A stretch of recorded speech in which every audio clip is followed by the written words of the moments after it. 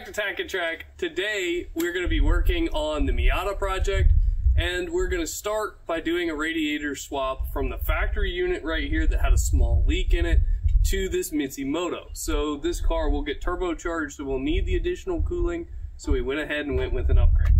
All right, so our first step uh, on changing the radiator was pulling out this pan, which is underneath the car that just protects it from debris and stuff getting up underneath the car. It also improves your airflow under there. These bolts were the only ones we couldn't see from the bottom. They got to be reached up through the bumper and are connected up inside where the wheel is, where the wheel well is. Uh, but it's all pretty simple to get to.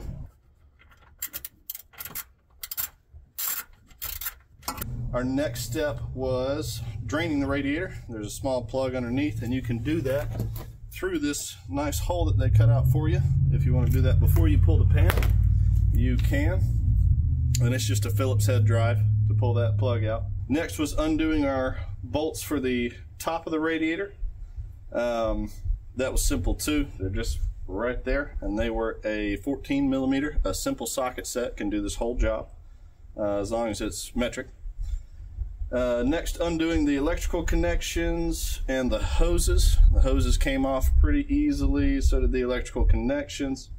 Uh, and then swapping the fans over. So that's got us to where we're going to stop and take a minute to do the belts. All right, so the fans have been swapped over. Radiators going in the car now. All right, so now that we have the radiator dropped in place, Gil's going ahead and putting back on the top brace mounts for both sides of the radiator.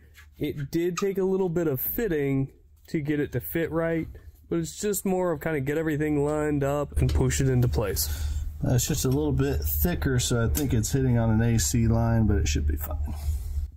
Now, one thing we didn't talk about when we pulled this is this connection right here, which is the electrical connection for the fan. You need to be sure you get that out and put that back and attach it correctly.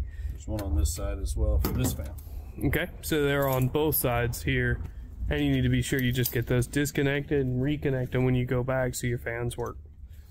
We're going to go ahead and connect both the upper and lower radiator hoses, and with these Motos, our drain plug did not come tight, so you need to be sure that you check yours and be sure your drain plug's tight before adding coolant back to the system.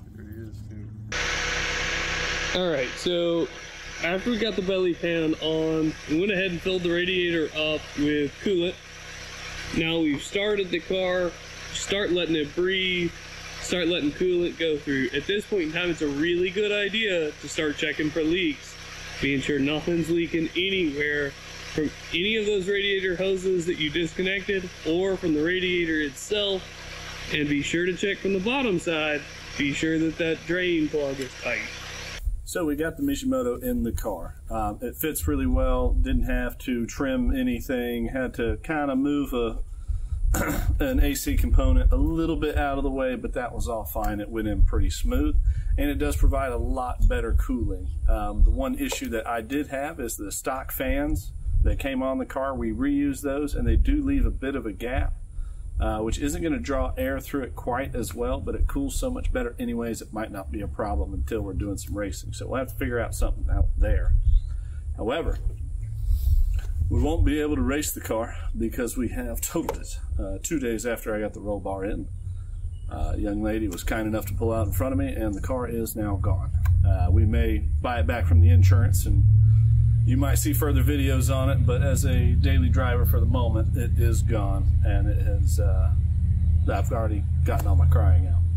But the Mishimoto, it was a front impact, and that Mishimoto looks salvageable from what I can tell. I don't think the radiator's in bad shape. It's it's moved, but it hasn't twisted or tweaked. So uh, high marks for the Mishimoto.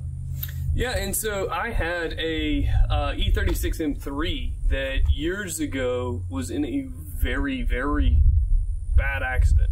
We used a plasma torch to cut the engine out. Um, out of that wreck. And while the Mishimoto was completely wrapped around the engine, it still was fine. It held water. It was still in great shape considering the level of the impact. And that's one of the reasons I've used them in several other cars. Uh, my wife's had two X3s, and they're not performance cars. We're not looking to race those or do anything really with those. That was actually the first thing I did to both of her X3s, just as a reliability point rather than as a performance modification. I didn't want it to leave her on the side of the road, and I knew those wouldn't. So, high marks for the radiator. Yep. So, we'll check back as we kind of figure out what's going to happen to the Miata. That's right. All that's still a little bit up in the air but thanks for checking out our video today. If you have any guys if you guys have any questions please leave them down there in the comments below. We'll be more than happy to answer anything. Be sure to like, comment, and subscribe. thanks guys